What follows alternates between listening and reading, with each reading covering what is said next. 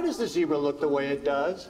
So embarrassing. Hey, focus. Nicolas Cage stars in Dream Scenario, A24's dark comedy about a man who begins spontaneously appearing in strangers' dreams worldwide, calling it one of the five best scripts he's read in his 45 year film career.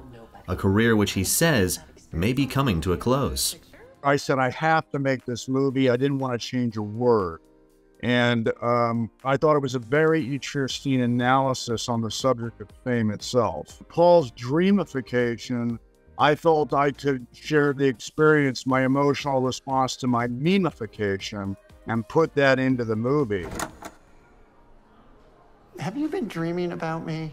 The story of average college professor Paul Matthews provides a warped mirror of the experiences of celebrity and going viral.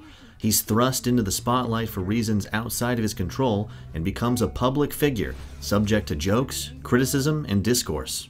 He goes from being uh, just a, a bland entity in other people's dreams, bearing witness and doing nothing and being a bore, which is a nightmare for him, for Paul Matthews to a, to an actual monster in people's dreams, uh, capable of great violence and menace. And that was fun to play to be able to hopscotch different p- portrayals, and even the dreams were like mini movies. How does it feel to go viral?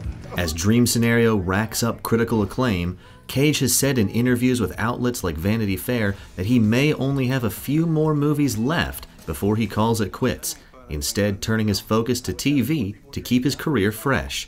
But for now, he hopes Dream Scenario will be a way to go out on a high note.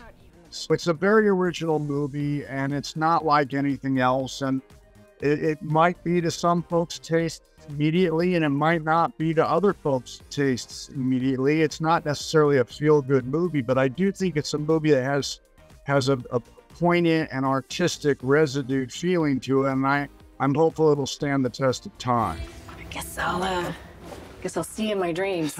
yeah. of course not. Alex Weber, Hollywood.